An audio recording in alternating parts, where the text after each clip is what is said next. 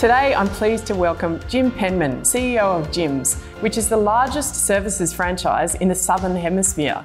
Jim, welcome to AWS Business Builders. What has inspired you to, to start the Jim's franchise? Tell us about your founder story. Well, um, desperation and the, and the, need to eat was beginning.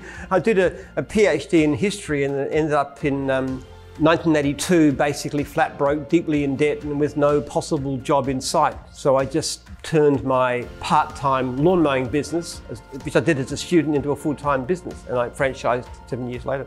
Wow! And you started with gardening, but it's far more than that now because you've built an amazing business, a $500 million business. What were the, I guess, the core drivers for the success of that business? Started off, I, I always had a passion for service. I basically had this aim, I was going to make my franchisees into really, really, really raving fans. That was the idea, that was the concept behind it. When somebody asked me at the beginning, they said, how many franchises do you think you might have one day? If it works out, maybe one day we'll have 100. We're currently at 4,600 and something and counting and still growing.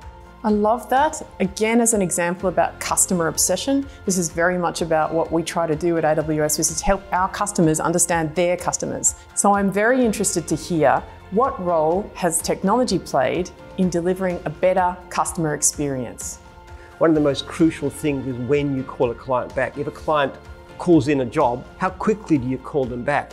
Well, we have a system, we're developing systems where it actually lets us know if we haven't done the right thing, we haven't followed up, so it reminds people. So what we can help people to do is to understand what their levels of service is and automate that response.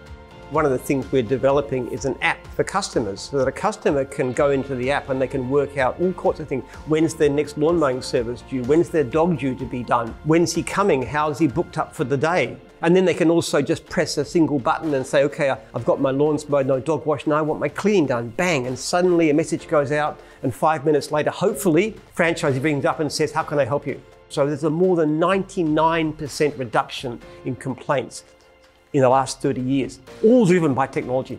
What we know for sure from our customers is that costs is a real imperative for them as they're managing for the future. Tell us how technology has changed your cost environment. You've got to have a system which is scalable. And that wasn't so in the old days when you used to just have your own server sitting in an extra room and then you have a problem because, because then you need to grow beyond that. You need another server. Yes. And then you have excess capacity. You don't have enough capacity and so forth. So it was very obvious for us to go to, to the cloud.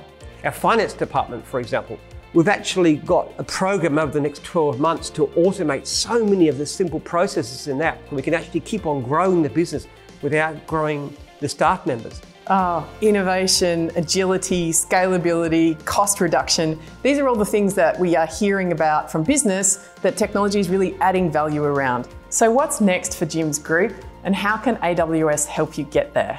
We love AWS because one of the reasons we, we went with you guys is because it's scalable. We're actually growing very, very fast and we have a lot of ambitions to go beyond Jim's to other independent contractors elsewhere in the world. So global expansion, it's not just going to be an Australian iconic brand, it's going to be a worldwide iconic brand. So thank you so much, Jim, for sharing your insights about technology. Um, and a very big thank you to everyone out there for joining us on Business Builders today.